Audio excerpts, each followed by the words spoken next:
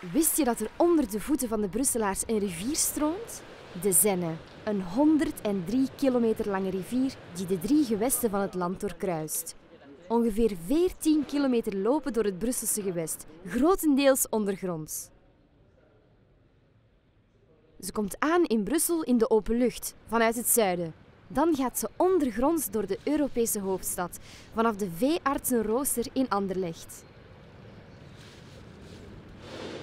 Iets verder stroomafwaarts tilt ons team een putdeksel op aan de luchtvaartsquare om in het kanaal van de Zenne te komen.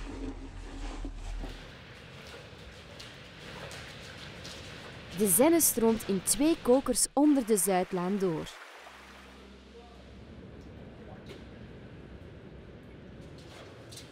Het team volgt de Zenne om via de artiesteningang bij het Riolenmuseum te komen.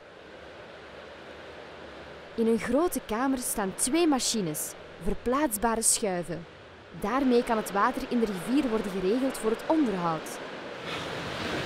Petite pause au musée des égouts. Euh, on va avancer un tout petit peu parce que là on peut voir sur le mur que ben voilà, on se trouve euh, entre Anderlecht et Villevorde, on espère bien, et euh, on va retourner après euh, vers, euh, on va continuer le chemin vers Paruc qui se trouve encore un peu plus loin par là.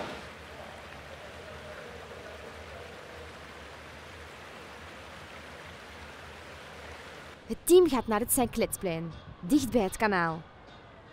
Deze plaats is een complex knooppunt in het netwerk voor het waterbeheer. De riolering, het kanaal en de Zenne staan hier met elkaar in verbinding. Tot in het begin van de jaren 2000 werd al het Brusselse afvalwater rechtstreeks in de Zenne geloosd. Deze situatie is veranderd sinds de ingebruikname van de twee waterzuiveringsinstallaties. Vroeger werden aan Paruc de riolen rechtstreeks in de Zenne geloosd via de siphon onder het kanaal. Deze aansluiting is er nog altijd omdat de riolen een beperkte capaciteit hebben en een veiligheidsklep nodig hebben als het hard regent. De Paruc-siphon dient vandaag als overstort bij een onweersbui. Een paar kilometer verderop stroomt de Zenne in de open lucht ten noorden van Brussel, na de Van Praatbrug. Alors c'est là que vous allez découvrir la sortie de la Seine de dessous Bruxelles et elle sort dans une cathédrale. De Zenne krijgt eindelijk weer frisse lucht. Het team vaart op de Zenne aan de kade van de verbrandingsoven.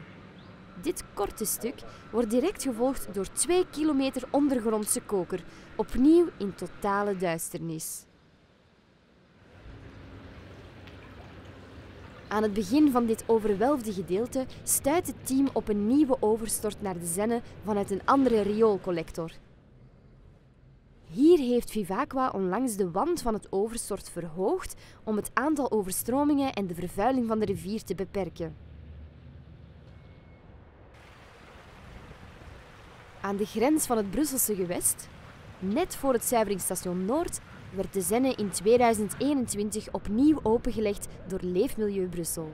In de toekomst wordt de rivier normaal gezien ook op andere plaatsen opengelegd. Hier komen de planten terug en de rivier is properder dan ooit.